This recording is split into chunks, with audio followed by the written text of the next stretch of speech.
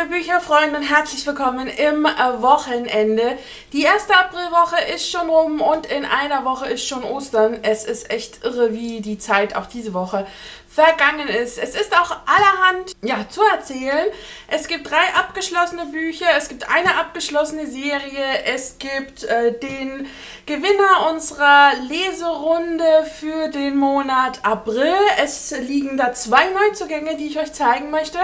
Und äh, ja, die Leserunde zu Drood hat begonnen. Und äh, ja, ich denke so eins nach dem anderen. Begonnen hat meine Lesewoche am Wochenende mit den New York Diaries von Ellie Taylor. Ist der dritte Band Phoebe erschienen im wunderwunderschönen Blau und äh, ja, habe auch ein paar Notizkleber eingeklebt und äh, ja, habe ich am Wochenende gelesen. Beendet am Mittwoch, wenn ich mich nicht irre, habe ich dann Silo von Hugh Howey. Das war ja unser Leseclubbuch im März, was sich ja durch die Leipziger Buchmesse ein bisschen nach hinten äh, gezogen hat sozusagen und wir jetzt im Grunde erst im April fertig wurden. Aber ich finde, bei einem Wälzer mit knapp 500 Seiten ist das auch absolut in Ordnung. Und als letztes habe ich zusammen mit der lieben Susan vom Kanal Susan Lives Caravel gelesen von Stephanie Garber. Wir haben uns da relativ spontan in dieser Woche dann dazu entschieden, hatten erst überlegt, oh, lesen wir das nächste Woche. Und dann habe ich gesagt, bevor ich aber irgendwas anderes anfange, und sie hat auch gesagt, oh, eigentlich ist das schon eine spannende Story und schwupps haben wir uns das ein bisschen eingeteilt und auch gelesen und ähm, ja, wie es manchmal so ist.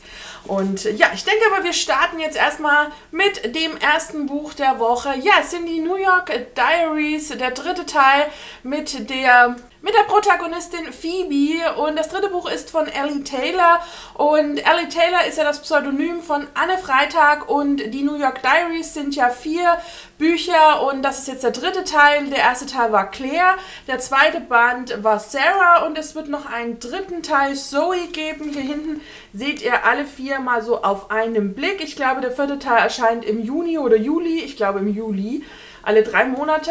Und äh, ja, zum einen Ellie Taylor alias Anne Freitag und zum anderen Carrie Price, äh, hinter der dann Adriana Popescu steckt. Und die schreiben das im Wechsel. Und ja, in den New York Diaries geht es äh, ja um das Knights Building in New York City und um die Frauen, die dort wohnen. Alle Ende 20, Anfang 30 mit ganz unterschiedlichen Lebensgeschichten, Problemen. Und äh, ja, ich fand den ersten Teil toll, den zweiten Teil genial genial und habe auch den dritten in zwei Tagen verschlungen. Erschienen ist der dritte Teil jetzt am 3. April im Knauer Verlag, wurde mir auch von diesem zur Verfügung gestellt und das Buch kostet broschiert und als E-Book je 10 Euro und hat 304 Seiten und ist in diesem wunderschönen Design, wie ich finde. Ich finde, die sehen wirklich alle toll aus, auch von der Farbgebung und man sollte sich nicht abschrecken lassen. Es handelt sich dabei nicht um New Adult oder irgendwas in diese Richtung, sondern es sind wirklich einfach, ja, äh, sehr unterhaltsame, zum Schmunzeln und Lachen bringende Frauenbücher über starke Frauen, über Verwirrungen und Irrungen, wie sie das Leben schreibt. Und so ist es auch bei Phoebe. Ja, Phoebe ist eine glückliche Frau, die gefühlt all ihre Träume erfüllt hat. Sie wohnt in einer tollen Wohnung, sie lebt in New York City, sie hat einen tollen Job, sie hat tolle Freunde. Und da sie nicht äh, so richtig der Mensch für Beziehungen ist, hat sie eben auch so ein paar Liebeleien, was sie absolut in Ordnung findet, sich nur darüber wundert, dass alle anderen es irgendwie etwas merkwürdig finden. Doch eines Tages geht Phoebe auf Dienstreise und verwechselt dann am heimkehrenden Gepäckband ihren Koffer und entdeckt da auf einmal Dinge in ihrem Koffer, hm, mit denen sie überhaupt nicht gerechnet hat, denn sie findet hier einen sehr ordentlichen, männerbepackten Koffer sozusagen mit Hemden und Anzügen und alles ultra ordentlich, ganz anders als ihr eigener. Und äh, ja, unsere Phoebe ist tatsächlich so ein bisschen verzweifelt und äh, vermisst vor allem Leo. Und bei Leo handelt es sich nicht um die Katze, um den Hasen oder irgendwas dergleichen, auch nicht um ein Kuscheltier. Nein, Leo ist das Tagebuch eine Art Tagebuch von Phoebe. Und ja, es heißt Leo nach Leonardo DiCaprio, denn Phoebe hat schon immer eine sehr, ja, wunderbar lebendige Fantasie und äh, hat eben in ihrer Kindheit, in ihrer Jugendlichkeit immer mal mit Stars gesprochen, hat Beziehungen zu Buchcharakteren und Serienfiguren aufgebaut und Leo ist ihr da eben ans Herz gewachsen und wenn sie eben Tagebucheinträge schreibt, schreibt sie nicht mein liebes Tagebuch oder Hallo, sondern Hallo Leo und vertraut ihm alles Mögliche an. Und umso schlimmer ist es, als eben ihr Koffer mit diesem Buch woanders landet, nämlich bei David, einem Autor, der eine sehr schlimme Scheidung hinter sich hat, ein schlimmes Beziehungsende, das er in einem Manuskript verarbeitet hat, das sich im Koffer befindet, das nun, der nun bei Phoebe ist. Und ja, diese Irrungen und Wirrungen führen uns jetzt durch New York, führen uns durch zwei Menschen, die äh, gegensätzlicher nicht sein können und die uns eben mitnehmen auf ihren, ja, auf ihren Irrweg durch New York City. Und das hat Ellie Taylor alias Anne Freitag unglaublich gut rübergebracht. Es klingt nach einer Geschichte, die schon hundertmal erzählt wurde und dennoch ist sie frisch, ist sie modern, ist sie frech, ist sie schnelllebig und sie ist lebendig. Und ich konnte mich so gut in Phoebe hineinversetzen. Es war unglaublich. Es gab so manche Parallele, über die ich tatsächlich lachen musste und dachte, oh Gott, ich bin also nicht die Einzige, die das das tut oder vielleicht doch, weil es ist ja hier nur ein Buchcharakter. Ich habe über ganz viele Dinge gelacht, geschmunzelt. Es war natürlich auch das ein oder andere dabei, wo man sich denkt, ach ja, so richtig in Schwärmen gerät. Und ich fand diese Geschichte wirklich großartig. Mir hat es unglaublichen Spaß gemacht, auf Suche nach dem richtigen Kofferbesitzer zu gehen. Und es war einfach so ein wunderbarer Irrweg durch New York City. Und man hatte dieses Großstadtgefühl. Wir haben was vom Knights Building erlebt, vom Leben in New York City. Und es ging wirklich einem mit jeder Phase durch New York City. Und gerade das macht diese New York Diaries wirklich zu etwas ganz Besonderem, dass wir eben sehr erwachsene Persönlichkeiten haben, die eben auch erwachsen handeln. Natürlich sind wir alle mal im Herzen Kinder, keine Frage. Das erklärt auch das Tagebuch, das Leo heißt. Aber dennoch merkt man einfach, dass man hier etwas Greifbares, Stabiles irgendwie hat und die Menschen darin eben genauso denken, wie ich zum Beispiel einfach selbst mit Anfang 30. Also es ist kein Hin und Her und eine Dreiecks-, Vierecks-Geschichte von Jugendlichen, die eh morgen nicht mehr das wissen, was sie am Vortag noch gedacht haben zu wissen, sondern es ist eben, es ist eben modern und es wirkt eben einfach so erwachsen. Und man hat das Gefühl, man sitzt mit Phoebe im Knights Building und sie erzählt einem was. Und besonders schön ist, wenn dann eben so die Charaktere aus den anderen Büchern so, so auftauchen oder in Erzählungen uns davon berichtet wird. Und das fand ich wirklich großartig. Es ist eine ganz, ganz tolle Reihe. Man kann alle Bände so lesen, wie man möchte, welche einem eben eben zuerst anspricht. Äh, das kann man machen, wie man möchte. Es baut nicht irgendwie aufeinander auf. Man trifft auch immer mal wieder die Charaktere aus den anderen Büchern und man kann das lesen, wie man möchte. Also welche Lebensgeschichte einem sozusagen als best, am besten gefällt, zu der greift man und wenn es einem gefallen hat, dann liest man eben die nächste und man muss sie also nicht der Reihe nach oder irgendwie lesen, sondern wie ihr Lust und Laune habt. Und ganz toll ist auch, dass es ja einen Soundtrack diesmal wieder gibt, den man auf Spotify äh, findet. Hier hinten hat man die Songliste und man sich dann eben auch mit dieser Songliste, mit der Spotify-Liste sozusagen und dem Buch einfach zurücklehnen kann und lesen und genießen kann und dann ja die, den Soundtrack sozusagen auch noch im Nachgang immer wieder hören kann. Ich habe von allen drei Büchern jetzt den Soundtrack auf Spotify und die laufen bei mir immer mal zwischendurch hoch und runter und es macht einfach unglaublichen Spaß und ist eine absolute Leseempfehlung, hat mir ganz viel Spaß gemacht und ich freue mich jetzt auf Zoe, auch wenn ich es dann natürlich wieder schade finde, dass wir dann das Knights Building und New York City verlassen müssen. Aber ja, irgendwann muss man ja immer Goodbye sagen. Und ähm, ja, auf jeden Fall ein ganz, ganz tolles Buch, was mir wirklich sehr, sehr gut gefallen. Ja, und dann schon eine Woche vorher begonnen haben wir im Leseclub Silo von Hugh Howie, dieser Name hat es irgendwie gefühlt für mich in sich, ist im Juni 2014 im Piper Verlag erschienen, kostet aktuell als Taschenbuch 11 Euro, als E-Book 6 Euro, ist aber auch gebraucht schon günstig zu erhalten. Ich habe ein Menge Exemplar äh, damals ergattert, ich glaube für 5 Euro, genau im Hugendubel in Nürnberg bei einem Booktuber-Treffen, hat 560 äh, Seiten und ist der Auftakt einer Trilogie. Und es sind meines Wissens auch schon alle drei Teile erschienen. Und äh, das, der zweite Band kümmert sich dann wohl um die Vorgeschichte. Und ich weiß gar nicht, ist der dritte Band ein Prequel. Ich weiß es gar nicht mehr. Äh, dementsprechend, äh, ja, das Buch haben wir im Leseclub äh, jetzt im März gelesen. Und es ist eine Art Science-Fiction-Thriller von einer sehr feindlichen und zerstörten Umwelt und in der eben äh, ja die Menschen, die wenigen, die es gibt, nicht mehr leben können oder überleben können. Und das Leben findet eben in Silos statt. Und Silos sind eben ja im Grunde Bunker unter der Erde, die sehr sehr tief sind, sehr viele Stockwerke haben und nach einem sehr strengen Gesetz, sehr strengen Regeln man dort im Grunde lebt. Und wenn man diese Regeln nicht einhält, dann wird man hinausgeschickt, um ja die einzige Sicht nach draußen eben so Art Fernrohre zu reinigen und im Grunde dann, ähm, dadurch, dass die Luft so feindlich ist, eben auch zu sterben. Und ja, da kommen wir im Grunde in der Geschichte ziemlich mit hinein, werden direkt mit so etwas äh, konfrontiert und es war ein unglaublich spannender Anfang. Es soll ja so eine Endzeit-Dystopie-Thriller sein, ähm, war zumindest so mein Gefühl daraus.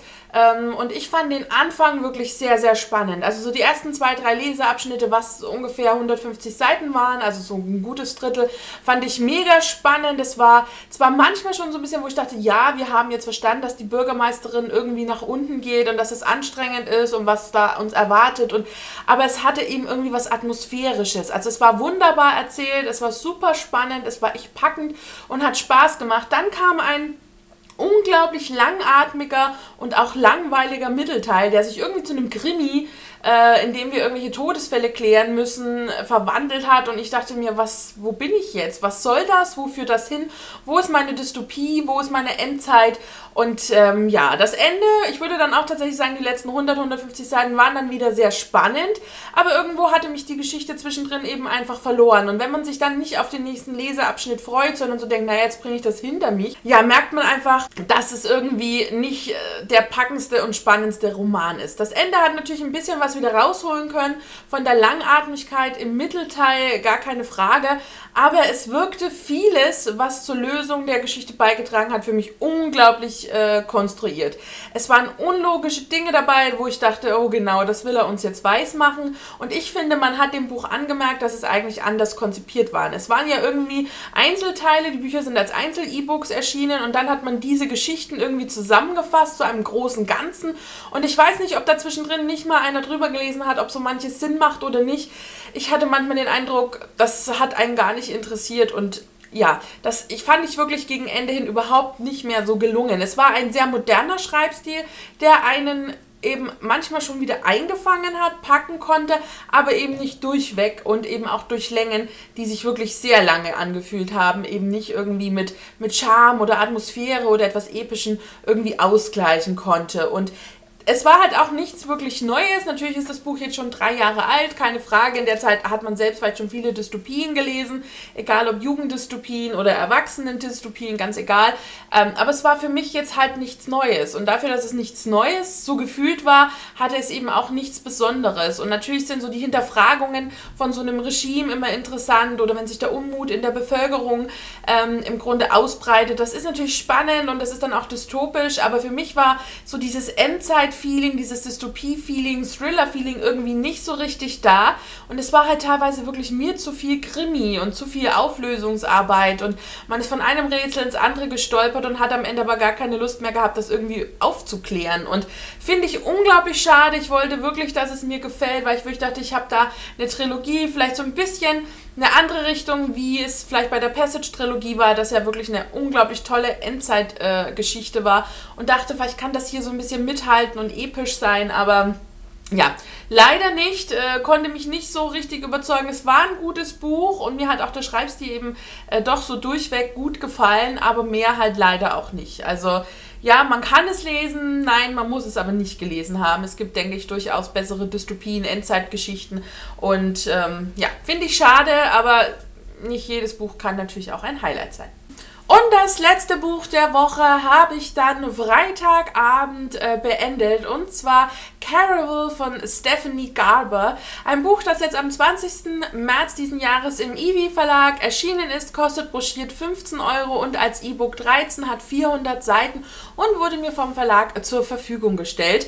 Und wie ich vorhin schon gesagt habe, habe ich das Buch zusammen mit der lieben Susan vom Kanal Susan Lives äh, gelesen, beziehungsweise Waldschrat liest. Unter dem Namen ist sie ja, denke ich, noch bekannter, aber sie hat sich ja jetzt umbenannt und äh, ihr findet natürlich ihren Kanal auch unten in der Infobox. Und äh, ja, Susan und ich haben sehr spontan zu diesem Buch gegriffen, hatten es halt schon jetzt ein, zwei Wochen auf dem Sub und haben damit schon äh, so ein bisschen überlegt, ob wir das zusammen lesen. Und irgendwie haben wir dann die Woche beschlossen, ach, neben Silo, zumindest ich, möchte ich irgendwie jetzt was anderes lesen und wollte eigentlich mit einem anderen Buch anfangen. Und dann haben wir gesagt, oh, vielleicht lesen wir dann halt Montag, Dienstag mit Caraval. Und dann haben wir uns aber irgendwie spontan dazu entschlossen, das Buch in, in fünf Teile, glaube ich, haben wir es gepackt.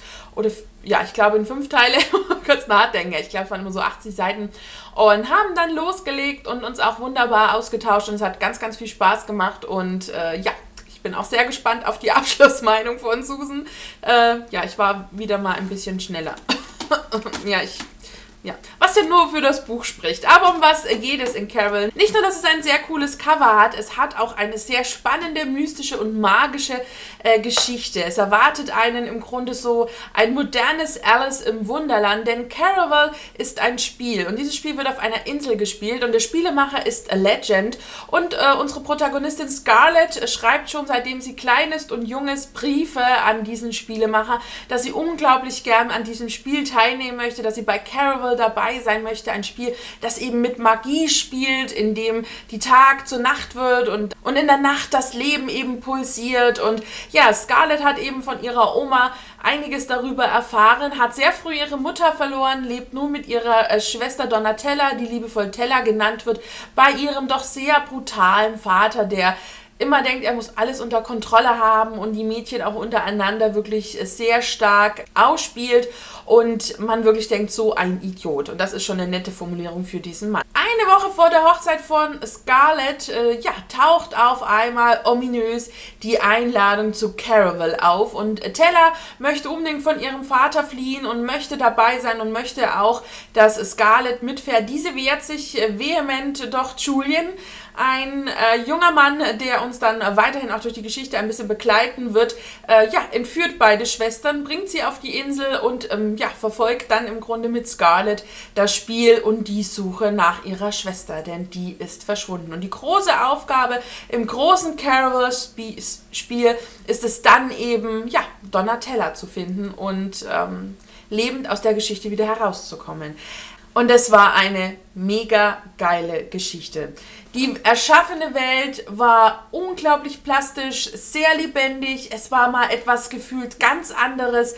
Es war magisch, es war mystisch, es war Wahnsinn. Und es war eben, was ist Spiel, was Fiktion, was ist noch echt, wie spielen die Dinge miteinander, was passiert im Kopf bei Scarlett, wer ist Julian, wer ist Legend, was hat es mit den ominösen Gerüchten zu tun, warum ist der Vater, wie er ist, wer ist der Graf. Und ja, was passiert alles auf dieser Insel? Und es war mega spannend, es war packend, es war mitreißend, man hatte Bilder vor den Augen und der Film ist wirklich mitgelaufen und weitergelaufen. Man konnte sich die Welt unglaublich gut vorstellen. Es war grandios beschrieben und es hat wirklich Spaß gemacht, diese Geschichte zu lesen, einzutauchen und sich mitnehmen zu lassen. Und die Geschichte ist unterteilt in die einzelnen Nächte von Caraval, was ich großartig gemacht fand und es war wirklich immer so ein ah, es war immer mal so ein Aha-Moment und es war total cool, da rein, reinzukommen, mitzulesen. Ich habe vorhin gesagt, es ist so ein bisschen wie Alice im Wunderland, wenn sie durch den Kaninchenbau dann eben im Wunderland landet. Und so hat man das Gefühl auch bei Scarlett. Sie landet da in einer Welt, die total anders ist, magisch ist, mystisch ist, spannend ist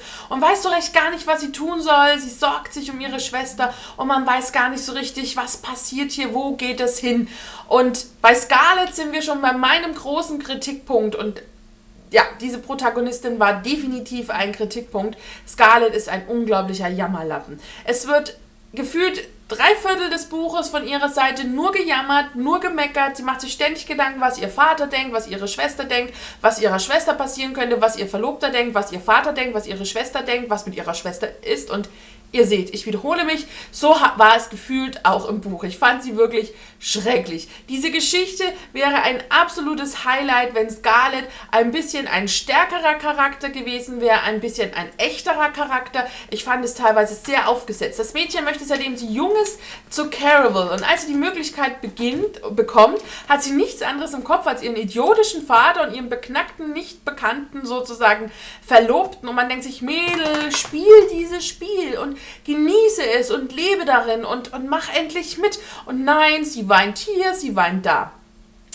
Ein ganz schrecklicher Charakter und das ist wirklich was, was mir total weh tut, weil dieses Buch von der Idee, vom Konzept, von der Spannung und auch vom, vom Sprachstil, der sehr blumig war, ausführlich war, aber eben auch seine Grenzen gekannt hat, eben einfach so grandios war. Aber Scarlett ist für mich wirklich so ein ganz großes Minus. Und ja, ich bin sehr gespannt, wie diese Geschichte weitergeht, denn würde man den Epilog nicht lesen, hätte man im Grunde einen abgeschlossenen ersten Band. Doch der Epilog weist einen irgendwie darauf hin, es kommt da noch was. Und es ist wohl schon bekannt, dass es ein Zweiteiler wird. Und auch die Buchrechte sind schon für den Film verkauft. Das heißt, wir werden da wahrscheinlich auch einen sehr fulminanten, großen äh, Film erwarten können, auf den ich mich mega freue. Und äh, ich hier wirklich ein grandioses Märchen mit Mystik und Magie erwarte. Und und auch etwas sehr Schönes habe ich mir herausgeschrieben. Und zwar steht das vor der Tür zu Caravel. Und zwar heißt es Willkommen, willkommen in Caravel. Dies ist die großartigste Vorstellung an Land und auf dem Meer. Ihr werdet Wunder erleben, wie sie viele Menschen ihr Leben lang nicht begegnen. Ihr könnt Magie aus einer Tasse trinken und Träume in Flaschen kaufen. Doch bevor ihr ganz und gar in unsere Welt eintaucht, erinnert euch daran, dass alles nur ein Spiel ist. Was jenseits dieses Tores geschieht, mag euch ängstigen oder begeistern, aber lasst euch davon nicht in die Irre führen.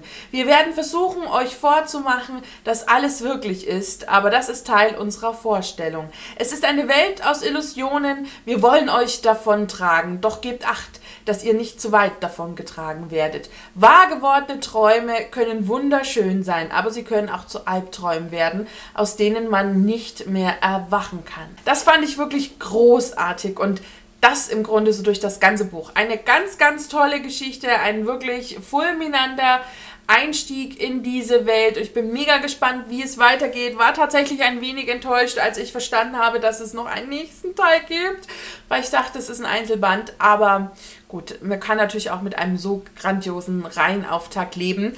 Ich hoffe, dass Scarlett sich irgendwie noch anderweitig entwickelt und äh, sie mir dann hoffentlich im zweiten Teil nicht mehr so auf den Keks geht. Ja, das muss einfach dazu gesagt sein. Ja, das waren die Bücher dieser Woche. Ähm, fand ich wirklich eine sehr gute, eine sehr gute Bücherwoche. Hat wirklich sehr, sehr viel Spaß gemacht. Und äh, neben äh, den Büchern gab es diese Woche aber auch ein absolutes Serien-Highlight bei mir. Ihr habt schon gesehen, ich habe ein extra Video dazu gemacht, das packe ich euch mal in die Infobox. Und zwar habe ich Tote Mädchen lügen nicht, eine Buchverfilmung von Jay Eschers äh, Roman Tote Mädchen lügen nicht, also Serie gleich wie das Buch, beziehungsweise im Englischen 13 Reasons Why, gesuchtet. Ich habe, glaube ich, Samstag angefangen, Sonntag, Montag, Dienstag und ich glaube Dienstag auf Mittwochnacht war ich dann fix und fertig mit mir meiner Welt nach den 13 Folgen. Und ähm, ja, Ihr könnt natürlich einfach mal mein Video gucken äh, zu der Serie. Ich fand sie wirklich großartig. Es hat viel Spaß gemacht. Es ist nicht nur irgendeine Jugendserie, sondern es wird ein sehr ernstes Thema, eben ein äh, Selbstmord einer jungen, eines jungen Mädchens besprochen, was im Grunde dazu geführt hat. Und es sind eben 13 Gründe, 13 Folgen, 13 Kassetten. Denn Clay, unser Protagonist, äh, kannte im Grunde das äh, Opfer und hört aktuell eben Kassetten, die sie zurücklässt, um zu erklären, warum sie sich umgebracht hat. Und es führen eben ganz, ganz viele Gründe, die ähm, ja augenscheinlich vielleicht so irgendwie unwichtig sind, nichtig sind, wo man sich denkt, Mädel, jetzt nimm dir das nicht so zu Herzen, eben dazu, dass sie sich das Leben nimmt. Und das erfahren wir wirklich gleich zu Beginn. Und wir verfolgen dann eben die Geschichte, wie es überhaupt so weit gekommen ist. Und man hört eben immer in Erinnerung die Stimme von Hannah und es hat in der Serie einfach unglaublich gut gepasst, wie die Gegenwart mit der Vergangenheit zusammengeschnitten wurde, wie Clay, unser Protagonist, damit umgeht, wie alle anderen mit diesem Selbstmord umgehen und gerade die, die dann eben auch irgendwie auf diesen Kassetten auftauchen, sich vielleicht mal fragen, was haben wir irgendwie falsch gemacht? Haben wir was falsch gemacht? Und wo führt das eigentlich hin? Und äh, ja, ich kriege direkt Gänsehaut. Das war eine großartige Serie, die mich wirklich gepackt hat, begeistert hat. Ich hatte das tatsächlich nicht erwartet, weil ähm, ich eigentlich dachte, ja, das Buch hat dir ja schon alles erzählt, das ich ja vor vier Jahren, glaube ich, gelesen habe. Aber ich fand es wirklich toll. Es hat echt Spaß gemacht. Es hat mich ähm, tief in den Abgrund gestürzt und wirklich auch noch die nachfolgenden Nächte hat es mich jetzt immer wieder verfolgt.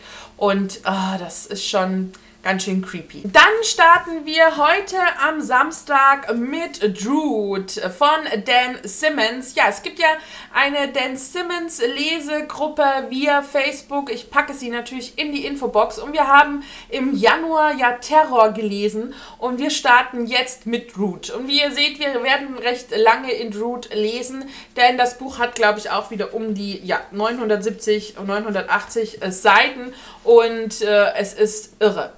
es ist echt irre. Das Einteilen war eine Kunst für sich, wie ich finde. Wir befinden uns in der Geschichte 1865 in London und wir begleiten Charles Dickens auf den letzten Jahren seines Lebens.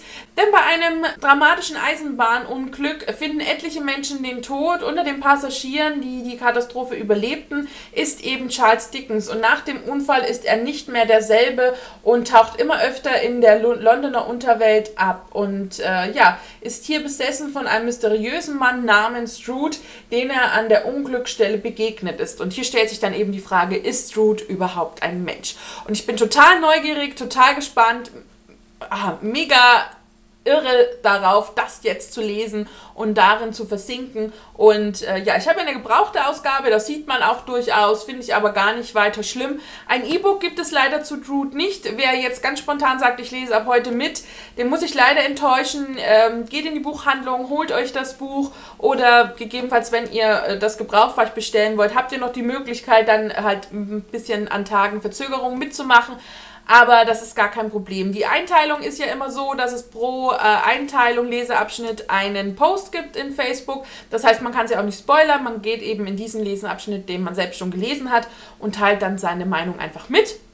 Und ich freue mich sehr auf Truth. Also bin da wirklich sehr neugierig und sehr, sehr gespannt. Das nächste Buch, das wir im Leseklub lesen werden, ist Vollendet von Neil Schusterman ich hoffe, man spricht den so aus. Das werden wir Ende April lesen und hier haben wir ein, selbstbetitelt, ein erschütternd reales Zukunftsszenario, wo es eben um die Umwandlung von Jugendlichen geht und ich bin da sehr gespannt. Also es klingt sehr brutal, es klingt sehr düster. Ich weiß tatsächlich nicht, ob es ganz so was für mich ist, ob es nicht vielleicht zu brutal sein könnte, aber ich bin sehr neugierig und freue mich auf das äh, Buch. Die Einteilung wird jetzt, denke ich, in den nächsten ein, zwei Wochen nach Ostern äh, passieren. Ihr habt also noch alle Zeit der Welt, um euch das Buch zu besorgen, wenn ihr mitlesen wollt. Ich packe euch das Buch auch einfach mal in die Infobox. Leseklub ist sowieso immer verlinkt.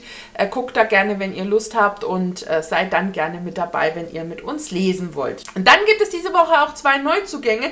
Zum einen hat mich ein großartiges Buch erreicht die 30 Tage Schreib-Challenge von Tingabeere. Und zwar habe ich mir das beim Indie-Lesefestival letztes Mal im Februar war das, also vorletzten Monat, habe ich mir das als E-Book geholt, weil ich tatsächlich einfach, ich habe jetzt zwei, drei Entwürfe, Gedanken von Büchern im Kopf auf dem PC und irgendwie habe ich das Gefühl, ich komme nicht weiter. Beziehungsweise überlegt man dann eben, macht man überhaupt weiter, fängt man eine neue Geschichte an.